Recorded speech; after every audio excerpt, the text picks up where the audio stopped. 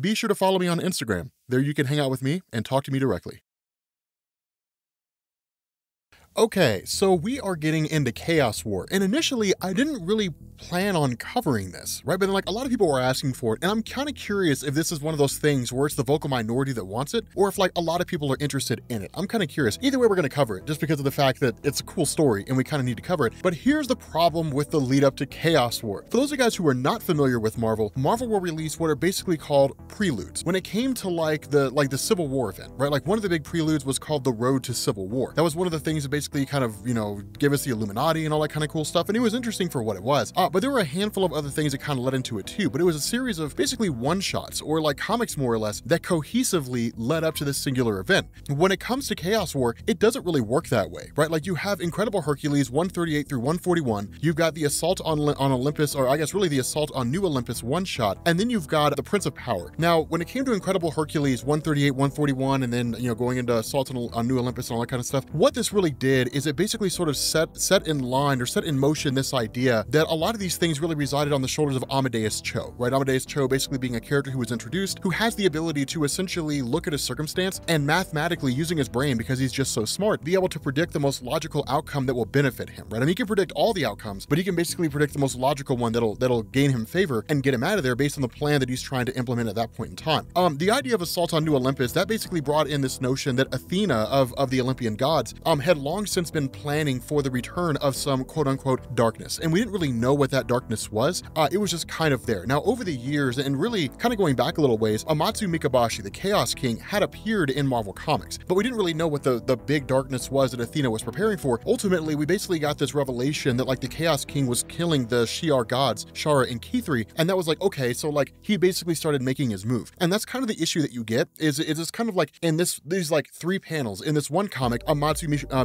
Mikaboshi kills some gods. And like in these three panels in another comic, he kills some gods. And like in this one panel, he kills a god. It, it's, it's kind of all over the place, right? So there's not really a technical prelude that we can go with. All we can really say here is that going into the events, really with with uh, with the Incredible Hercules storyline, um, ultimately Hercules was basically trapped in a different dimension at the hands of Hera, right? That was really kind of it. Like he was basically kind of cast away and, and held away in order to quote unquote, I think it was really by Athena, actually now that I think about it, to stop from interfering with Amadeus's destiny, right? The fact that Amadeus is going to be tasked with basically finding a way to, to defeat the, the Chaos King, and ultimately that re resided on the shoulders of, uh, of, of Hercules during the Prince of Power storyline when uh, Amadeus Cho basically brought Hercules back, right? He elevated Hercules to godhood. And it's one of the cool things because there's a lot of nonsense in there, but ultimately it just kind of settles on the fact that Hercules returns and he's got a newfound power because he basically has all these different artifacts that belong to all these different gods that have existed all across the entirety of the Marvel Universe. The fact remains, as it stands right now, Amatsu Mikaboshi has basically made his move and he's essentially gone through and he's he's basically killing off all these different gods. What this basically does is it picks up with the uh, with the patron saint of the of the Zenn-Lavians, basically a guy named Thrawn, who's kind of like their their god of science. Now, the Zenn-Lavians, as you guys know, is the race where Silver Surfer hails from. He was Norrin Radd before he was a Silver Surfer, right? Galactus showed up, he was going to consume their world. Norrin Radd basically sacrificed his life as it existed, went forward as a Silver Surfer, and became the Herald of Galactus, the first real herald outside of the Fallen One. And so because of this, what it does is it brings this uh, brings in this idea that like all these gods had more or less abandoned the Zenn-Lavians except for the patron saint of science. And the reason why was because the Zenn-Lavians in their early days as a race had basically gone through and they were kind of going through with like these gods of love and hate and so on and so forth, very like primitive belief systems, right? And then ultimately they abandoned all that and basically moved in the direction of science and said like science is the only real thing that we can trust because it's the only real thing we can prove or disprove. Ultimately, a lot of these gods that didn't have anything to do with science basically turned their backs on the Zenn-Lavians because they felt like the Zenn-Lavians turned their backs on them. The issue with this is that they're all, you know, it's really kind of coming home to roost because now you have literally the Chaos King going through and killing every single one of them that he can find. And when he shows up here, all these gods band together and say, fine, then let's try to fend off against this guy as best we can. But this is the power of the Chaos King. None of them really stand a chance in the first place. They're completely overtaken. This is one of the important things to remember about the Chaos King is that for him, he doesn't want to really kill these gods, right? The, the goal is not to kill them. He could if he wanted to, but the goal is not to kill them. The goal is to amass an army and to basically take all these different gods gods and bend them to his whim and force them to do his bidding, basically operate as his soldiers and his agents. And the reason for this is because when it comes to the Chaos King, the desire is not necessarily to eliminate all things in existence. It is to a degree, but in order to get to that point, you're basically going to have to find a way to defeat multitudes of those various heroes that are out there. And that's what that's what Thrawn basically tells him. Like, look, I get that like you're trying to destroy all the gods. That's fine. But eventually you're going to move to Earth. And when you do, you have to understand there are some exceedingly powerful beings there. Like like you think we're powerful, we're nothing in comparison Earthlings. For the most part, Earth is super primitive. But despite the primitive nature of Earth, it's home to some of the most powerful beings in existence. Like right now in Marvel Comics, which was confirmed, Franklin Richards is the most powerful character in all of Marvel, right? Like Marvel came out and said, this guy is cream of the crop when it comes to like the most powerful mutant basically in all of Marvel Comics. But uh, but it is a uh, it is a cool little moment here because what this does is it switches over to Earth itself. And what it what basically ends up going on is you get Mr. Impossible. Well, it's not really Mr. Impossible. I don't know why I said that. It's it's Impossible Man. The Impossible Man is a guy who can basically shapeshift and become like anything he wants. He can actually like cast off parts of his body if he wants to shrink into something or turn into something that's smaller than his physical form. But basically, he was a troublemaker. Originally, he was more of like a comedic character, right? Kind of like a, a comic relief to a degree. In more recent years, honestly, I haven't really heard of him in a long time, if I'm being honest with you all. But the fact remains that, is, that with the Fantastic Four, it's kind of business as usual, and things are just kind of popping off. But then suddenly, the Impossible Man is met with the arrival of uh, of the Chaos King. Now, this is kind of a funny thing because the Impossible Man doesn't really take him seriously. He's just kind of like, well, I mean, you're a guy, you're here, whatever, man. Like, I'm not too worried about you. But we get this really bit, uh, this really cool bit of explanation from the Chaos King and sort of why he exists and why he does what he's doing. And what he basically says is that his desire is to essentially return the universe back to a place where there was nothing but chaos, revert everything back. But to do that, he has to amass forces. He has to amass people that can basically work on his side and force them into that kind of subservience. And so where you end up having uh, Impossible Man who just kind of jokes around, doesn't take it seriously, then suddenly you end up having uh, you end up having the Chaos King that takes him over. And when he does, you have like Impossible Man trying to like jump from one person to the next and, and, and try to like duplicate these various powers and try to fend off. But at the end of the day, he's just not powerful enough to do it, right? I mean, it's, it's kind of a gimmicky and silly thing where he's using like guns and different things like that, shooting bullets of himself and so on and so forth. But ultimately, he's basically taken over. And when that happens, like all these various forms of power are all shut down, everything seems to come to an end. And so at that point, that's when you end up jumping to like the next true iteration of him taking on various gods when he travels to hell. Now, when it comes to hell in Marvel Comics, if you look at it from a real world perspective, you would perceive it as only one version of hell, right? Like that's it. Like there's hell and it's ruled by Satan, done. In Marvel Comics, it doesn't really work that way. Instead, what you have are what are called Hell Lords. And these are beings who reside over different dimensions that are in some form or fashion considered to be hell, right? So you actually have the realm of Hel, which is where Hela resides, but it's not really a place of suffering and punishment. It's just an afterlife for those who follow the follow the, the Asgardian mythos, but didn't die in honorable battle. It used to be a place where everyone that went, everybody who died went there, no matter what race you were from, no matter what planet you were on or whatever. When you died, you went to the realm of Hel, and if you died in honorable battle, you went to Valhalla. But then once Marvel introduced Mistress Death, that all began to go away, and that all began to shift. And it was like, okay, you have Mistress Death, here's an actual afterlife for people on Earth, baseline humans, and those individuals who don't follow the Asgardian mythos, right? So that's why when you feel when you look at the Olympians, you get the realm of Hades. I'm sorry, the, the basically like their version of hell, and that's like the afterlife for those who follow the Olympian mythos, uh, but didn't didn't die in whatever form. Well, really just died in general. Actually, you know, there really is, uh, as far as I'm aware, I don't know if there's a Valhalla in Marvel Comics equivalent for the Olympians. Uh, but the fact remains here with Amatsu Mikaboshi showing up here, he's basically like running up on Satan, who who who also has this realm that inhabits or at least uh, and ends up involving Hela as well as Johnny Blaze and so on and so forth. So Marvel's kind of mixing them together, right? Like mixing all these sort of realms together because technically they should all be separate. You also end up having Daimon Hellstrom, who's the actual son of Satan himself. Uh, but it's kind of cool because when Amatsu Mikaboshi shows up here, he starts killing every, like starts taking over everybody, right? Like starts attacking every single person. And and you would look at this and you would say, okay, well these are some powerful beings, right? Like Hell Lords are not weak. They're super powerful, super capable beings. When Mikaboshi uh, shows up here, it's all just like run. Like everybody just flees for their life. Like Hela creates a portal, opens it up, everybody starts running through as fast as they can. Like everybody here is for the most part just fleeing for their lives. The only ones who don't are those individuals who were immediately captured by by the Chaos King or Satan himself who goes to attack. But it doesn't matter and it doesn't make a difference. They're all completely and totally taken over. And this is one of the reasons why the Chaos King is such an impressive villain is because when you look at him and he goes through here, he just makes this clean sweep through everybody, right? So what you end up having is Satan himself who reiterates what Thrawn, uh, what Thrawn said, like you're traveling to Earth. There are some insanely powerful beings there. Up to this point, you've battled people who aren't afraid of death, individuals who already died. What you're going to be facing now are individuals who want to live, who don't want to die. And so where a lot of it was kind of like metaphysical and it was kind of there and, and a little strange and a little off, things get a lot more clear in, in this section here because what it does is you end end up having uh, having the Chaos King travel to the Dream Dimension. Now, the Dream Dimension is home to Nightmare. Nightmare, of course, being one of the villains we're probably going to see in Doctor Strange 2 with the traveling through the multiverse with Scarlet Witch and all that kind of stuff. But the idea behind this is that Nightmare is a being who's basically uh, basically fueled by the nightmares of all beings in existence. And as a result of that, he's an exceedingly powerful foe. And so when Chaos King shows up, all of them are taken out. And, and Nightmare is, is eliminated, like taken over right off the bat. Like literally his heart's ripped out of his body and then in turn like he's beheaded. So it's one of those instances where the Chaos King actually kills him. It's kind of wild to see. But the reason why the Chaos King kills him is because the Chaos King doesn't need him. Instead, the Chaos King is going to utilize his power for his own purpose. And this comes to fruition when you end up having this kind of psychic backlash that's sent all throughout the entirety of the Marvel Universe. It affects uh, Jericho Drumm, also known as Brother Voodoo. It affects Emma Frost, and it affects uh, the Atlas Foundation. You don't need to worry about the Atlas Foundation; they suck. But the idea behind this is is basically with Nightmare functioning the way that he does, existing in the dimension that he does. Basically, all the dreams and nightmares of various individuals flood into his dimension, which gives him kind of a psychic link to the entirety of really all beings in existence. And so to sever that link, or seemingly to cut it off,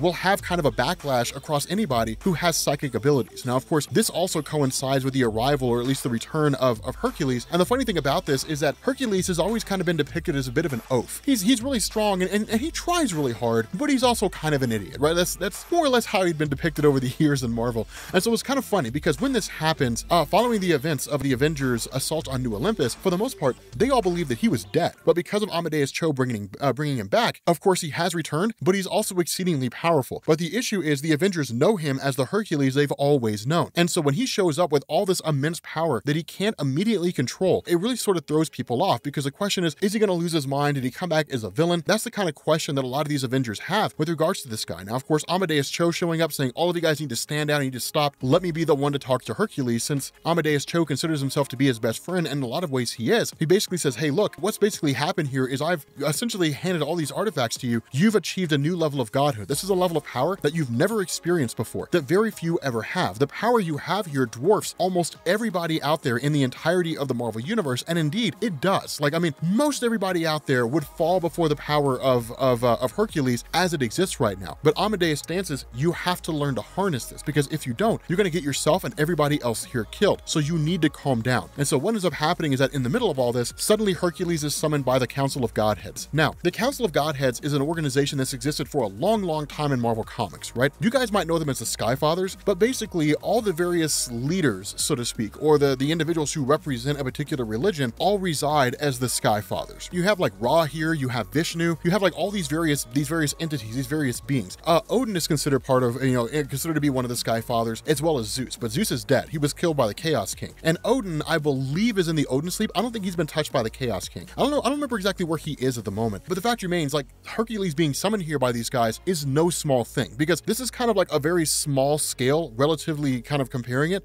to like being summoned by the living tribunal. The Council of Godheads is basically saying like all this power you have comes from artifacts that were stolen from us. You cannot have any of this stuff, right? Like you are here to be uh, to be judged by the entirety of the All Fathers, the Sky Fathers, the Council of Godheads, whatever they want to call them. And what he does is he looks at them, and and, and this is one of the coolest moments. Hercules looks at them and says, "No, I'm going to attack all of you because while the world was falling apart, everything was sort of going to pieces. You rested on your laurels, you turned your back on humanity, on the role that you were supposed to play. Like you guys have basically been lazy, right? And as lazy people, I'm going to deal with you accordingly. Right? You don't get to be lazy and then step in and take action when it benefits you. It doesn't work that way. And so Hercules single-handedly basically takes out the entire Council of Godheads. This is a huge moment. Like it's a very, very big deal. Technically, Hercules would never be able to do this on his own, but this is the new power that he possesses. These guys, under any normal circumstance, would absolutely thrash Hercules. And the fact that he's able to pull this off is incredibly impressive. The issue with this is he's suddenly met by the arrival of Thor. And basically, Thor is just kind of like, look, man, you have to stop. You have to calm down. You can't go through and start attacking these guys. And so as a result, Hercules basically takes off and basically starts sort of monitoring the world for a minute. And the reason why is because when everybody starts learning that Hercules is back, it's basically one of these things where they're kind of like, but the guy's an idiot though. The guy can't really do anything. And it's sort of a sad thing because Hercules is coming face to face with the fact that no one has any faith in him. No one believes that he's really capable of doing anything great because he's just kind of a guy who battles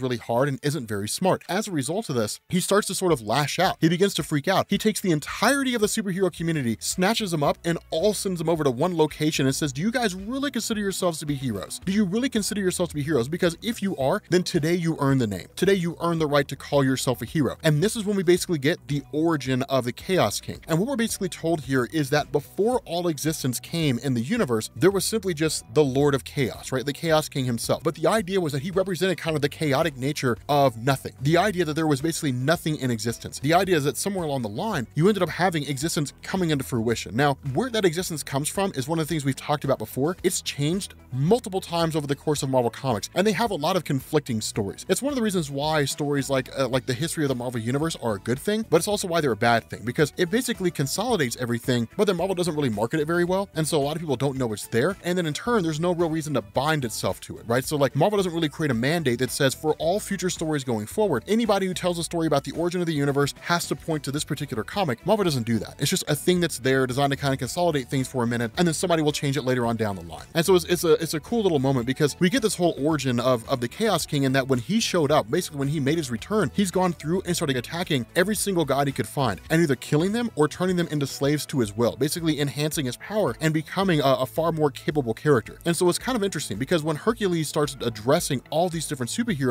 what he says is like, this is bigger than your perception of me. Like, I get that you guys have always seen me as a fool, and that's fine. But at this point right now, I'm the only real hope you have. So either you can cling on to this ideology that I'm somehow an oaf, or you can get yourself in gear and you guys can follow my lead. You can do what I tell you to, and we can stand a fighting chance of winning. And so it's this, it's this really cool moment because what ends up happening here is he actually gives every superhero on Earth who doesn't have it the ability to fly, and then in turn brings them all to the realm of nightmare. So this is something to bear in mind. This is how how powerful Hercules is at the moment. Hercules is able to bestow powers on anybody who doesn't have them, and then in turn able to basically create a portal that can get him to a different dimension. It's nuts because when he gets there, they end up arriving to the realm of Nightmare only to find out that Nightmare's dead. And this is the reason why the Chaos King made his move the way he did, is because with Nightmare basically being dead, with Nightmare being out of the picture, what it does is it allows the Chaos King to take over his role and to basically use this kind of psychic connection between the dream dimension and all of the mortal humans that are out there, the ones that basically need sleep, to in turn put them in kind of a sleepless death, to basically put them in a place where like they're stuck in this kind of comatose state and they can't do anything about it right now. The other reason why they're not dead is because of the fact that hell has basically been destroyed, right? There's no one really there residing it over uh, residing over it anymore. It's basically the end of that. So these individuals are stuck in a dreamless sleep, right? And I mean, it happens in the blink of an eye. So like planes come crashing down, people on hospital beds basically die, car wrecks take place, but they're not actually going to the realm of the afterlife. Their spirits, their essences aren't leaving their body, and they're they're still there because there's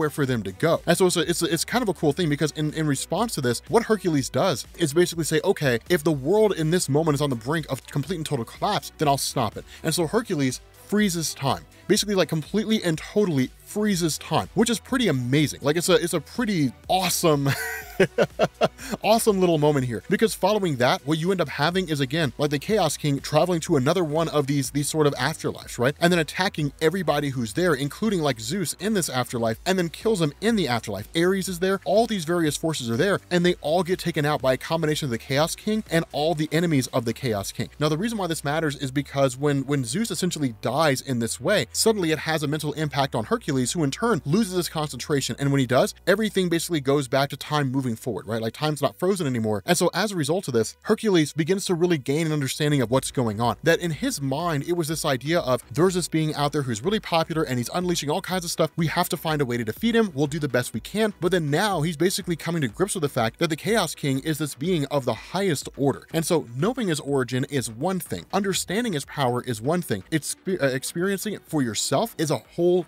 different kettle of beans. And so essentially because of this, what he says is if we really need allies that are far stronger than what we have, if we need like a new set of allies here because all the heroes that we had are in a catatonic state, then let's bring in some heavy hitters. And so this this is insanely, uh, this is probably one of the most impressive things I've ever seen. Against his will, Hercules summons eternity, the living embodiment of the universe. Understand, this has never happened before. There's never been anybody out there who's displayed a power on this level to where they could just summon the, the most powerful cosmic entity in existence to their to their current location, right? Eternity doesn't arrive unless he wants to, unless he wants to be there. But literally, he was just yanked over here by Hercules. But it's kind of nuts because when Hercules addresses Eternity and says, hey, look, I need your help on this, Eternity says no, because basically the Chaos King is my other side. If I represent the, the universe as it exists now. Chaos King represents the universe as it existed before it took form. Essentially, he's my brother. He's my other half. To fight him is to fight myself. So uh, hopefully you defeat him.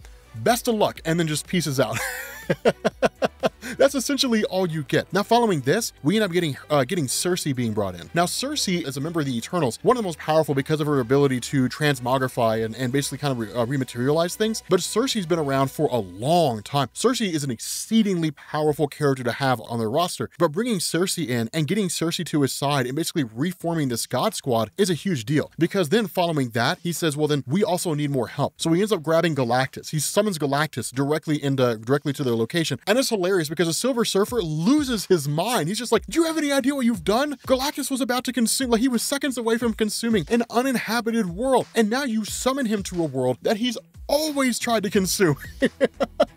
what foolishness is this? And so it's kind of funny because then a fight breaks out between like between Silver Surfer and everyone, and then ultimately ends up being Sersi who's the one that stops it. Right? She takes on the appearance of Shalla-Bal, and she says, "Hey, look, you got to calm down. Like you got to stop. There's a major threat here. Like there's a massive threat going on. Like literally, the Chaos King is killing all the gods he comes across in every dimension that he goes into, and has killed a plethora of them. And he's bringing all those forces to Earth. So, like, we need everyone we can, which includes you and Galactus. Now, this is the important thing to understand. All the forces that the Chaos King has mustered are all these beings out there whose power is equal to what it was before or more powerful, right? Like that's that's really what they're going to be dealing with. So imagine that Odin, for example, imagine that like a thousand Odins descended onto Earth and their power had been amplified by that of the Chaos King. That's basically what they're looking at. Not necessarily a thousand Odins, but like, you know, uh, like like Zeus and like all these various beings who are out there, these gods basically basically, having their powers amplified and sent to Earth. It's pretty dire.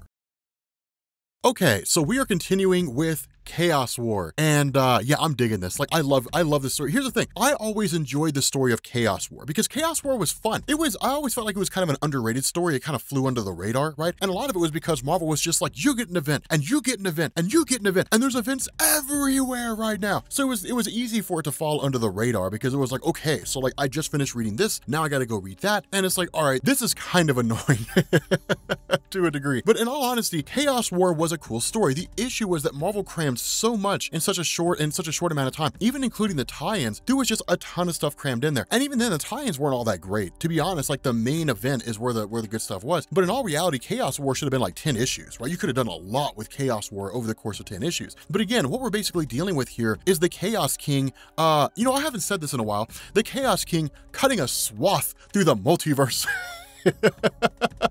I haven't used that phrase, cutting a swath. I haven't used that phrase in a long time. I need to go back to using that phrase again, cutting a swath. This story is the best thing coming out of DC Rebirth. All the memes are coming out in this video.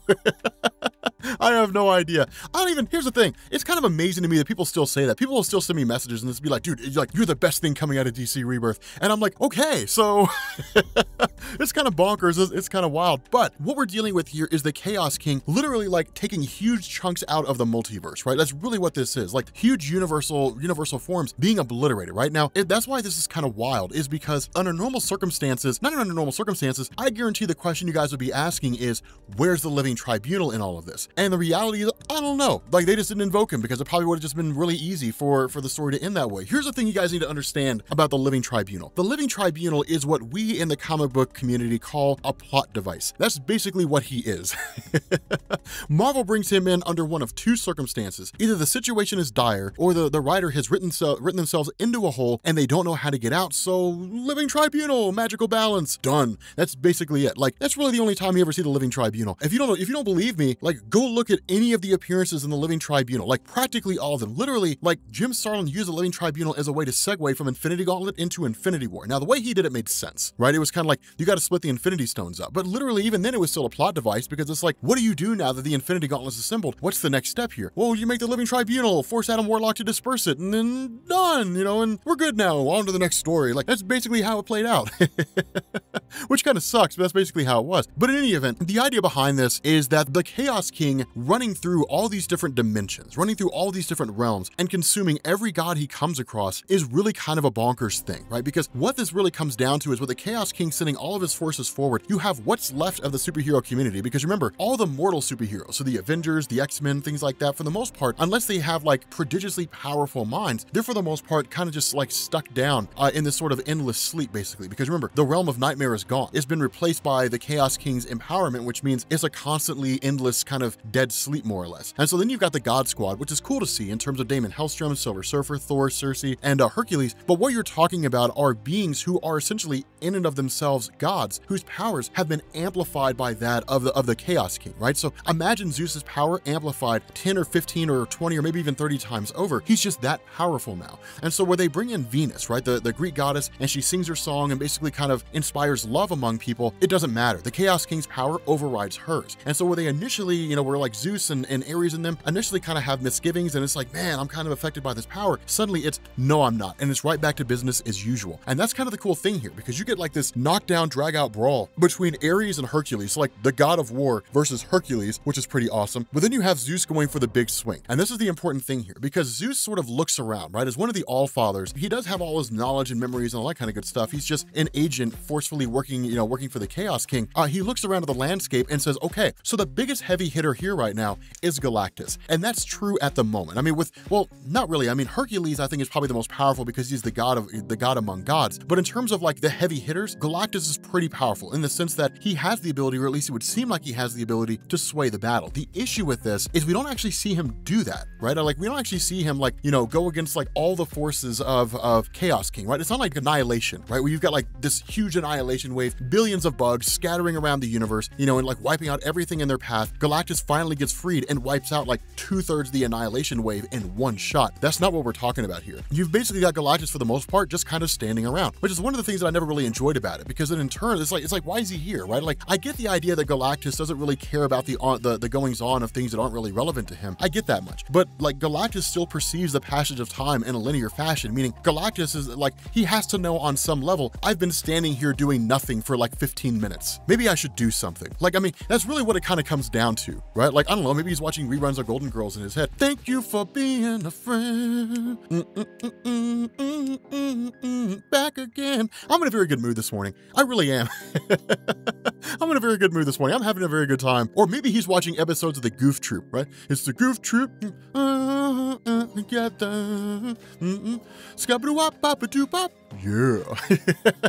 I loved Goof Troop back in the day. But nonetheless, um, the, the cool thing about seeing Zeus face off against Galactus is that this is Zeus empowered by the abilities of, of the Chaos King taking a swing at Galactus. And where Galactus fires the opening shot, or, or really goes for the shot and tries to destroy Zeus, under normal circumstances, the response of, or the reaction of Galactus here seems to be that he should have been able to pull it off, right? Like he should have more than enough power to destroy Zeus in his entirety. The issue with this is that Zeus is almost completely and totally unscathed by the power of Galactus, which really kind of highlights where Zeus is at the moment, and by extrapolation, where everybody else is at the moment. Now, Zeus is really the most powerful of all the gods uh, that are under the control of of, uh, of Chaos King at the moment. So things are really kind of dire and, and sort of popping off in that regard. But what you also end up getting is is literally like Hercules, who basically like ends up taking out Zeus. Now, this is designed to sort of highlight the power that Hercules has, and that's why things are sort of interesting because th this is one of the reasons why the story kind of got mixed reactions, right? Because if Hercules is powerful enough to basically fell a guy who was able to shrug off an attack from Galactus, then shouldn't he be able to basically take out that guy and all the other guys along with him? And that's why it's kind of murky because it's sort of like it kind of goes back and forth. And even Hercules' power doesn't really seem to be that consistent in terms of what he can and can't do. But the cool thing about this, this is one of the funny things, is it almost seems like Zeus basically regains himself and saying, hey, look, you know, I'm, I'm sorry, like, like I had no choice. I had to work for this guy. You know, he took me under his control and so on and so forth. You know, but it's it's it's good that you've basically released me from the prison of the Chaos King and, and so on. And kind of feeds on the emotions, on the emotional state of, of Hercules in this way. And the result is that Hercules, of course, being the the you know somewhat foolish guy and being the the irritable guy that he is, in turn lashes out and then basically like starts screaming at the various members of the Skyfathers circle who are all out there, right? The Council of Godheads. Well, this was the plan the entire time because suddenly the Chaos King emerges. And what we end up learning is the Council of Godheads is the one place the Chaos King couldn't find, where all these gods are at, right? Like pretty much every surviving god that's left is housed inside the Council of Godheads. And literally Hercules just opened the door for the Chaos King. Why? Because Hercules is stupid. That's why. He's an idiot. He thinks emotionally and not intelligently.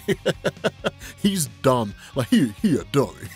but no, it's it's it's kind of funny because like this is a, a pretty genius maneuver on behalf of the Chaos King, right? And this is one of the best things about it because what this shows is that the Chaos King is not just some force of destruction, right? I mean, he is. He's not just, you know, he, he's an aspect of, of Oblivion, so he's super powerful, but it's not just smash, boom, bang. You know, it's not something stupid like that. It's as interesting as this guy's nuanced. And he's like, okay, so I can't, I can't really access the Council of Godheads on my own, but that guy Hercules is basically a buffoon with a whole bunch of power. I can just use him as a way to do it. And that's exactly what he did. And what follows next is one of the most insane displays of just wreckage that you have ever seen. I mean, literally all these guys start running, right? Like all these various gods just start fleeing for their lives and it doesn't matter. The Chaos King goes for, goes for like every single one of them. They all get taken over. They all get consumed. Literally, Chaos King kills every god in the Marvel Universe. Every last one of them are totally taken over and, and either eliminated or consumed by the Chaos King. This is the kind of power we're talking about here. This is the kind of power we're talking about here. A person that goes into the realm of gods and just like takes them all out. Literally, it's just like everybody's gone now. Like everybody's consumed, everybody's gone. And this is the crazy thing about it, is because Amadeus Cho is the one guy who'd be able to figure out a way for them to win, right? That's how his powers work. That's how that's how his mind works. It's like going through and looking at the entire situation constantly in flux and saying, okay, how do we come out on top on this? And Amadeus Cho is basically the way that Marvel's telling us at this moment in time, there is no way to win. Like there's no way to win this. The Chaos King is consumed all beings that are out there. Pretty much every single god out there now works for the Chaos King. Like the universe in and of itself is now part of the Chaos King. There's no real way for him to win. And that's when things sort of get interesting is because if the Chaos King is really that capable and the Chaos King really kind of has that ability, then what is it that's allowing the Chaos King to do this, right? Like what puts him on a path to where he uses a lot more wisdom and intelligence than he would normally do on his own. And that's when you end up learning the reason why all this happened and the reason why the Chaos King was able to pull off all this stuff is because of Athena, lackluster. Yeah, I know, very anticlimactic. You know, I almost completely forgot about Chaos War. if I'm being honest with you guys, I almost completely and totally forgot about this story. I was so looking forward to like House, like the, the conclusion of, of House and Powers of X. I didn't even think about it. I was just like, yeah, man, like X-Men stuff, cool. All right, moving on. And then I was I was looking and I was like, because I usually do a, a, re a weekly recap, kind of going through the videos that I've done to make sure I don't really have any loose ends. And I was like, uh, we never finished Chaos War. So Chaos War, the conclusion. Basically, Hercules becomes like the most powerful god ever. It's interesting, right? Because in the last video, we had like basically the, the Chaos King, uh, Essentially just kind of like crushing the entirety of the godly pantheon, right? Like basically everyone that the Chaos King has faced off against, he's either ensnared or destroyed, right? And when I say ensnared, I mean brought them under his control so that they become his servants. And this includes like the entire multiverse, right? It's one of the things Amadeus Cho says is that like the Chaos King has basically removed or, or consumed 98% of the multiverse. So it's not just the main Marvel universe, right? Now here's one of the questions people are gonna ask. Where's the living tribunal? If a single being comes into the in, in, into this story, like basically comes out of his dimension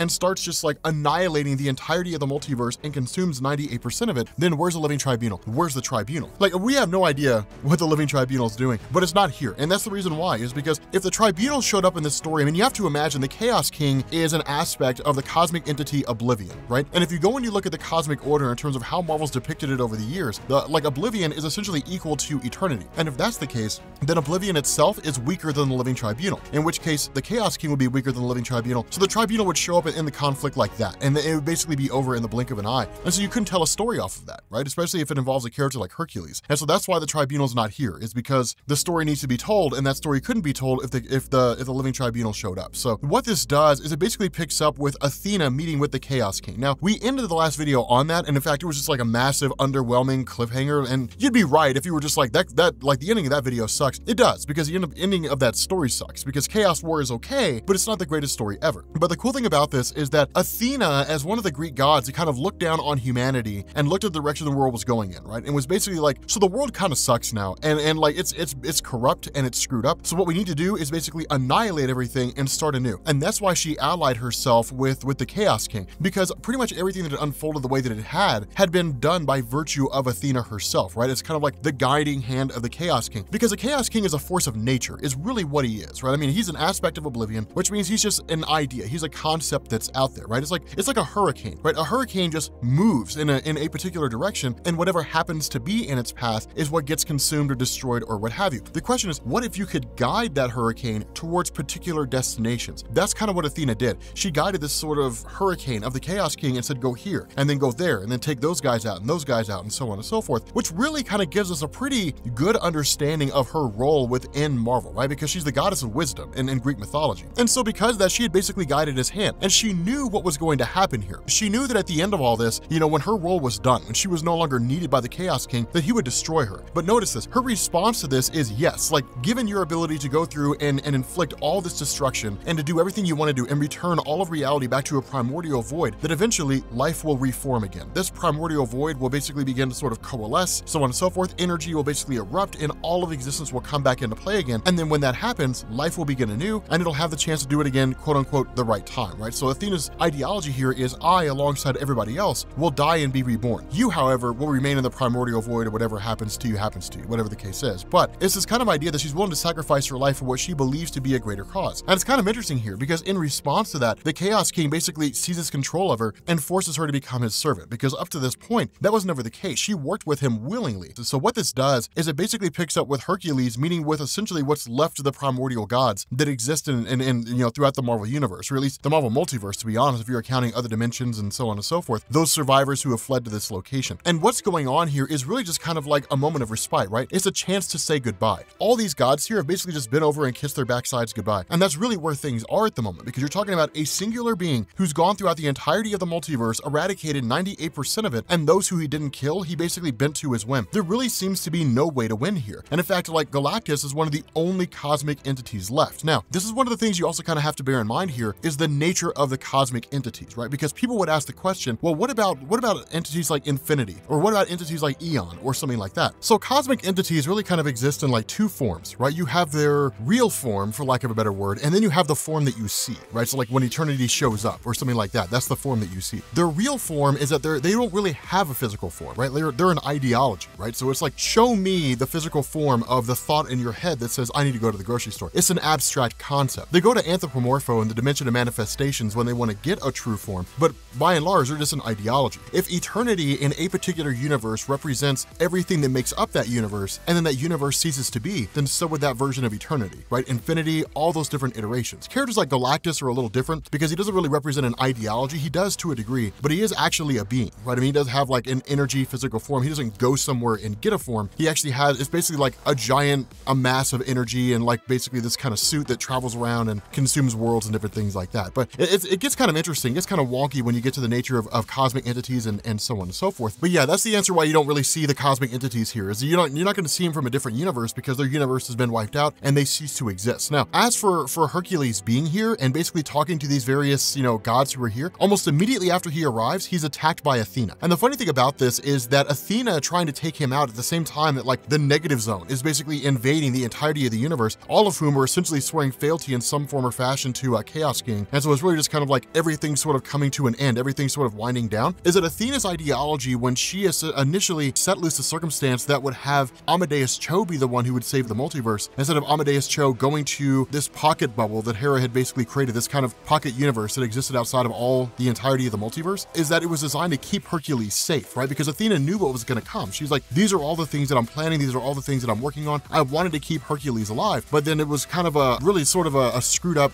scenario when Amadeus Cho, having, you know, free will and, and doing what it is that he can, ultimately went and brought Hercules back. That was not supposed to happen. And so that's why things are kind of running awry a little bit at the moment is because things, you know, as far as, as Athena's plans go, they were supposed to go off without a hitch. And the result is that for the most part, Hercules is kind of an idiot. And so even though he's doing the right thing and he's trying to save the world, he's kind of blundering his way through it and sort of screwing things up at the same time. But the big moment with all of this stuff, the, the really huge moment here is kind of this revelation of Gaia. Now, when it comes to, to the characters in Marvel Comics, if you go back and you read the old stories from, from Marvel, right? like the old, uh, really like the old Thor stories by Walt Simonson, the old Avengers stories by Roy Thomas, what you got here was this kind of explanation of how the universe and the gods tie into it, right? The funny thing is that if you go and you read Walt Simonson's Thor, you get one explanation about how everything came into existence. And even if you go read Tales of Asgard by Jack Kirby, you get a different explanation. If you read some of the Avengers stories that deal with the origins of the universe by Roy Thomas, you get one explanation, right? So different stories all sort of iterated in different ways. This is, despite the fact that Greg Pak is pitching this to us as an absolute, it is only really one of multiple iterations of how all things came into existence, right? So kind of take this with a grain of salt here. But what Gaia says is that she's basically the mother of all gods in existence. Initially, Gaia existed before there ever was a universe, right? She was kind of a sister or a companion of sorts to Oblivion, but that's not explicitly stated, so I wouldn't run with that. But the idea was that when, when the universe came into existence, which is to say, this space that all the planets and solar systems would occupy, it was Gaia who basically gave birth to it all. And again, it's just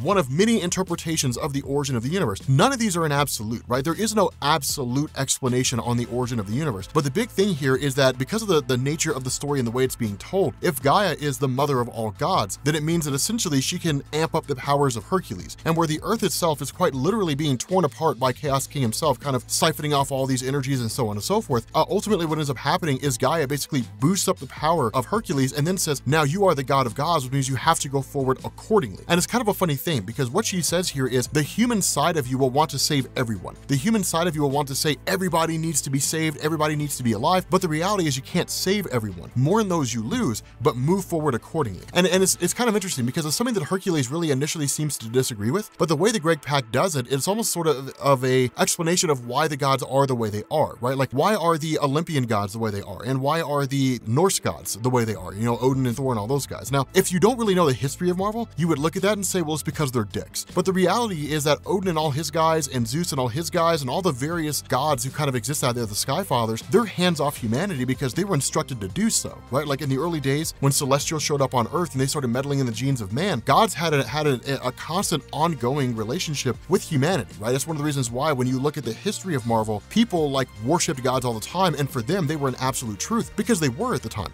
The issue is that because there was so much meddling going on by the gods in the affairs of mortal men, Celestials didn't want that. And the result was that they showed up and they said, if you guys continue to meddle in the affairs of man, we'll destroy you all. And so that, that basically kind of created a, a wall between Odin and his ilk and, and Zeus and his ilk and all the other Sky Fathers that you see, which is why you don't see them acting all that often. But the overall gist here is that with Hercules getting this massive power up from Gaia, he is exceedingly powerful. Now, with him facing off against the Chaos King, one of the funny things about this is that when you look at stories like this, right, where it shows Hercules and the Chaos King fighting each other and the Earth just sitting there, a lot of times those are done as a way to kind of show us how extreme the situation is, but it's not meant to be taken literal. In this story, it is, right? Like they're literally bigger than the world and they're literally fighting outside of the Earth. it's kind of cool. But all this really sort of comes down to, to Amadeus Cho, right? Because with Galactus working alongside Cho, and with Cho's idea being, hey, look, there was this pocket reality that existed outside of all space and time that Hera created to lock Hercules away, the initial response of, of Galactus and Cho is, okay, well, we can take everybody in humanity and we can send them there. And it's kind of a cool thing because what Galactus is doing is building one of his world engines of sorts, but actually finding a way to open this portal, which he successfully does. And where the portal's open and where he tells Amadeus Cho, get all your people in there, Cho starts calculating all these possibilities and starts to realize that he can't save everyone, right? That like for all the people that he'll save, millions are going to die. He can't save everyone all the time. Some folks just aren't going to make it. And the inability to grasp that reality, I think is what differentiates people who wish the world could be a certain way versus people who understand the reality of the world the way it is, right? You know, living in a realistic world versus living in a fantasy land. And so it's, it's kind of cool because with Amadeus Cho sort of calculating all these, he's like, okay, so there's no way to save all of humanity by whisking them all to a different location. But then there is an idea that suddenly occurs to him by virtue of Hercules. And it's Hercules just saying like, like you can't, you know, we can't let it end this way. And that's when it dawns on Amadeus Cho, bring the Chaos King down here as fast as you can, like get him down to earth, which of course Hercules is able to do. And when that happens, uh, you have basically the God Squad, right? So like Thor and all these different characters who all show up and they basically all start launching an attack that's not really designed to defeat the Chaos King so much as distract him and keep him slightly weakened. And what it does is it allows Hercules with the Chaos King in his weakened form to grab him and then throw him into the void, basically that, that place that exists outside of all space and time that Hera had created. That's where he resides and everything just sort of devolves back down into that space. The problem with this is that where the Chaos King is technically destroyed, it's like the Langoliers from from from Stephen King's uh, from Stephen King's book, right? Like everything is pretty much consumed. There's really nothing they can do here. I mean, yeah, they saved all of creation, but there's like huge holes, huge gaping holes in the multiverse, right? I mean, like 98% of it's gone. And so it's kind of crazy here because at that point, Athena then basically approaches Hercules and says, hey, look, you can recreate everything. You can destroy everything, wipe everything out, and then let life begin again, and then basically fulfill my plan, which of course, in the eyes of Hercules, is nonsense. And it's, it's kind of intriguing here because you can make an argument on both sides, right? I mean, you, I could make an argument for Hercules and say, okay, so Hercules is wanting to follow the role of the traditional hero. Everybody deserves a chance to continue living on. But here's the reality. If people wanted to correct their lives, they would have done it by now. And if they don't want to, then is Athena wrong by saying the world is screwed up and corrupt? And if she's right about that, then maybe it is in the best interest of all things in reality to wipe it all out and to basically start new, right? To, to cleanse it all and start new. But the funny thing is that ultimately Hercules ends up coming out on top and saying, no, we are not going to do that, right? We're not going to wipe out most of this universe, right? Here's kind of a funny thing is how did Athena come back? I don't know. But the fact remains that basically he's like, we're going to do what heroes are supposed to do, which is protect those and lead those into a better tomorrow. And so what he does is he basically disperses all this power that he has and recreates the entirety of reality, right? Like recreates the entirety of the multiverse and restores everything back to the way it was. Now, here's the problem with this, right? Here's the biggest problem with this. And this was the big problem with Marvel between 2003, 2004, running up to about 2012, right? There were a lot of events that took place where even if it wasn't on like a great big huge multiversal scale, there were a lot of events that took place whereby everything could have been destroyed and it kind of was, and then ultimately set back to the way it was before all this kicked off in the first place. And it's kind of like, that's interesting and I get that, but the issue with stories like this is it doesn't matter, right? Like the, the story doesn't have any significance here, aside from maybe a couple of, a couple of characters that were affected because literally like Thor ends up going to Olympus and it's like, okay, so like I guess I'll take up residence for Zeus. And like that's basically it, right? Like the incredible Hercules story ends. There's there's no real impact to this, right? It's kind of like, okay, so basically there's this guy out there who's an aspect of one of the most powerful cosmic entities in existence, and this guy's name is the Chaos King. And the Chaos King wants to return everything to the void. And then in the process of doing it, wipes out pretty much everything that he comes across in order to achieve this goal. At the end of the day, it's all basically stopped by, by a, a young kid named Amadeus Cho, who thinks of this one scenario that basically is only really able to be maintained by the power of Hercules. And so once the Chaos King is totally destroyed, Hercules recreates everything and it goes right back to the way it was before. What's the aftermath here? What's the benefit to a story like this? And that's why I'm not necessarily against, you know, multiverse shattering stories. I'm not necessarily against the notion of like all things are going to end and, and that kind of stuff, so long as it has a purpose afterwards, right? So long as I feel rewarded for having been part of it. You know, it's, it's kind of a cool thing. The only exception to that is if you're looking at stories, at least if I'm looking at stories like Spider-Verse, right? Because technically the whole of Spider-Verse, if you're reading Spider-Man, right? Because people ask me all the time, I want to get started with Spider-Man, where do I start? Start with uh, Dan Slott Spider-Man Big Time. But once you get to Superior Spider-Man, the whole entire Spider-Verse event takes place between like Superior Spider-Man issues 21 and 22. It's just, it's like that, right? I mean, it just happens, it happens, you know, in between those two issues. But the cool thing is that what came out of it was one, like you got to see this, this kind of wrapping up plot threads with like Morlun and the Inheritors and so on and so forth. And two, you could have built on top of that and come back with it later on. The Chaos King's gone, he's destroyed. He doesn't exist anymore. So there's no bringing him back, right? I mean, there's no returning that guy back here and, and kind of kicking it off from there. So it's kind of an interesting story, but not without its problems, not without its, its, its criticisms. But yeah, if you guys are new here to Comics Explained, make sure you all hit the sub button to become part of the Rob Corps. If you guys enjoyed this video, make sure you drop a like and I will catch you all later. Peace.